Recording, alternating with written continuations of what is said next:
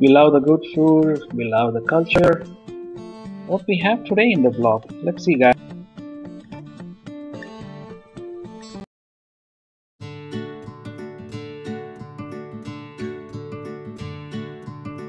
Three. Hello guys, um, today we're gonna prepare the most world famous things to do in family. Yes, is a very quick way if we have all the right ingredients and even one or two less or more doesn't matter. So we take a like a bigger plate or a thali like you say it India. And first we prepare some brown fried onions and crush them and put it in this plate here. Really crumpled. You can add some more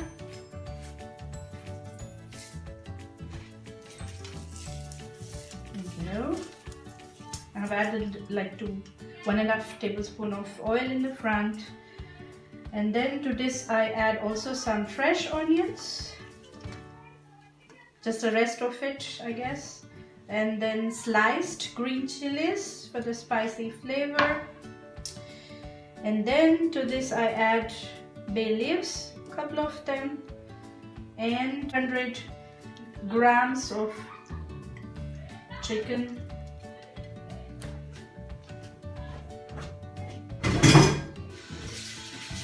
and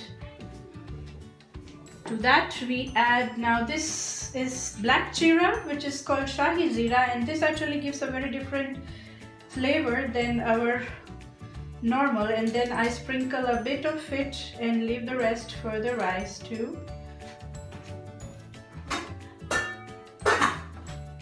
and which gives a great flavor just twitch it with the hand very artistic very healthy too.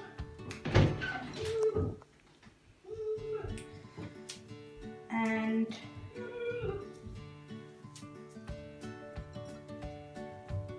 then we add some coriander, fresh cut coriander, right?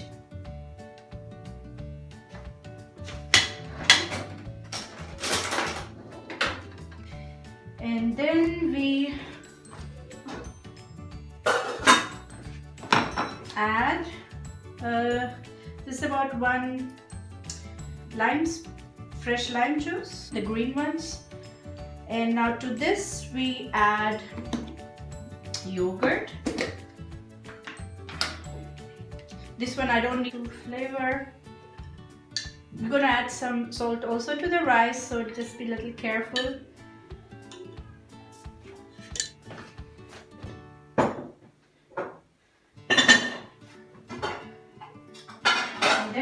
spices we add. Little turmeric, red chili powder, can go easy on it depending sometimes the red chili powder comes like quite strong but this one is not very strong but we also added the green chilies so be careful. And then the garam masala to it. Maybe like one teaspoon full of it.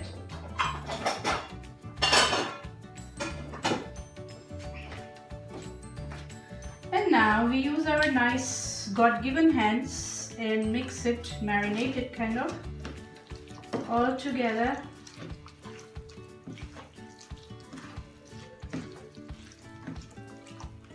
Even when we are mixing, we can get the flavor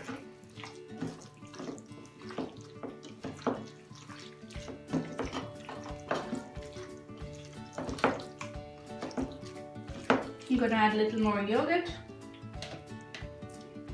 Just a spoon more.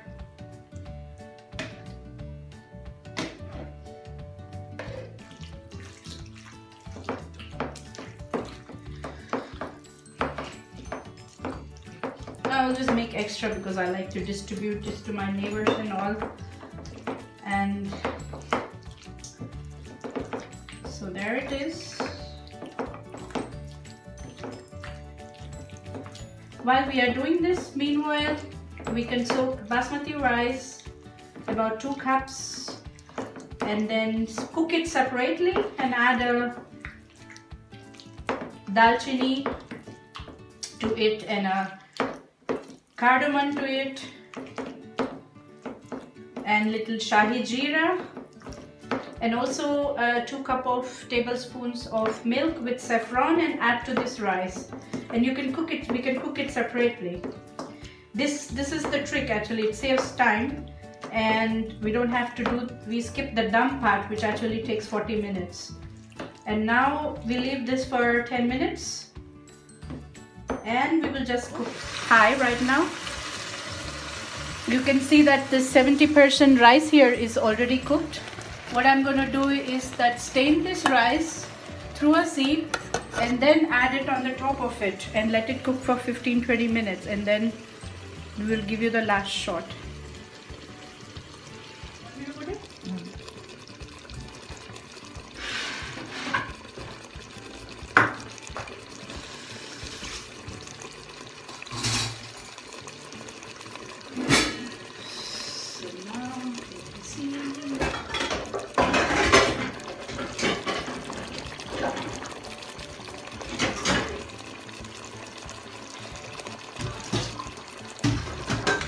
you can also let this cook.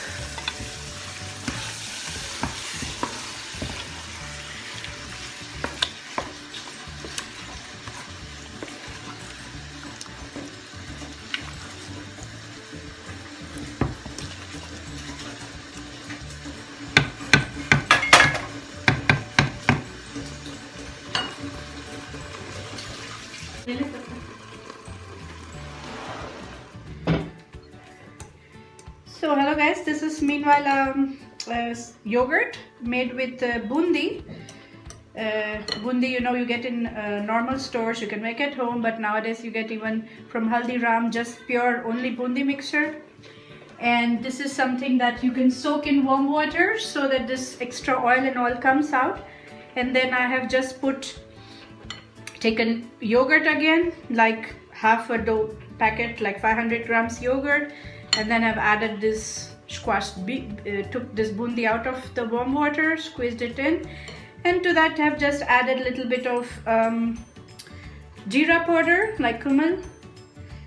And uh, cumin powder which is yeah cumin powder and then red chili powder and then little salt a slight sugar to taste. And you can also add chaat masala to the top or green uh, coriander uh, to the top like just as seasoning. So there is yours and that goes great with biryani. Naturally you could also do with um, cucumber also similar. It's as taste okay?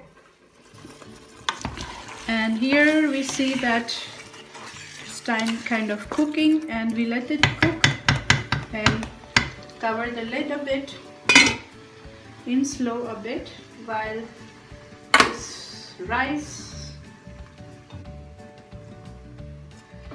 can see this rice. Yeah you can actually do it with the sieve or just add it.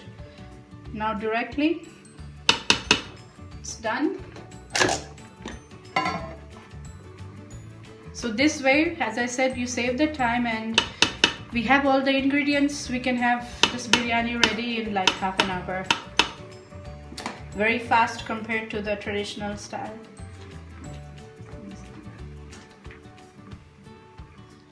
we have the chicken is down cooked and then little bit and as it's cooking I'm adding the rice which is almost cooked. So there is no dum part of it. It's all cooked. And you can see it's also separated. We can add little ghee to it on the top and have this flavor. And all we do now is like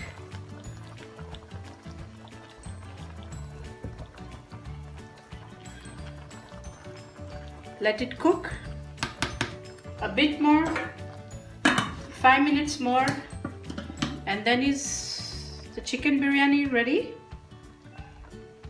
just give it five more minutes as it cooks. Here guys, just done the Hyderabadi style biryani. You know, you can decorate it with little bit of green chilies if you want, if people prefer spicy. And then we just serve it with yogurt. It's mixed. Enjoy!